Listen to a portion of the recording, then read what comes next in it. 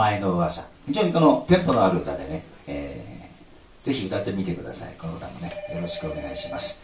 はい、えー、またたび演歌でございますね。またたびあの演歌のアルバムが今日は発売しております。もういろんな懐かしい歌も中に入ってます。高田幸喜さんの「伊豆の佐太郎」であるとか、えー、白根和夫さんの「次男坊ガラス」とかね、えー、氷川きよしさんの「箱根八里の半次郎」とか、まあ、いろんなあのまた食べ物を集めて、えー、発売中でございますその中からじゃあ1曲。そうですね。何がいいかな？何がいいかな？男が男がさそれいいね。はい。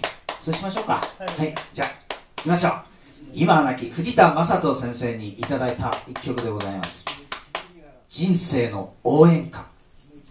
ちょっとあいろんなことを言わないでくださいね。鈴木さん。すみません。男がさってもう出しちゃったんですよ。すみません耳がいいから聞こえちゃうんですよ。いいですよ。